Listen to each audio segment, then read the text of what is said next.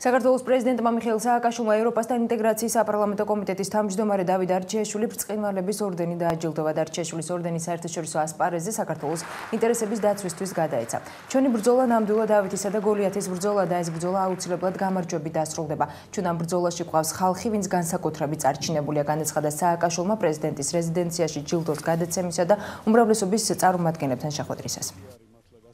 ყოველი ადამიანისაგან და ბევრად მეც მე მინდა უბრალოდ დავით დარჩიაშვილს გითხრათ, იმიტომ რომ მართლაც თუ კი ვინმე ხმალამოღებული იცავს საქართველოს ინტერესებს საერთაშორისო არენაზე, ყველა ბევრ თქვენგანთან ერთად და საქართველოს წინაშე წინააღმდეგ საერთაშორისო არენაზე მიმდინარეობს დიდი ბრძოლა და ჩვენ ვიბძვით, მაგრამ ჩვენ ვიცი არა ვინმეს წინააღმდეგ, არამედ თუ ჩვენ ვიბძვით ჩვენი თავისუფლებისთვის, ჩვენი დეოკუპაციისთვის, მე მინდა დავით დარჩიაშვილს გადავცე წირვალების ორდენი.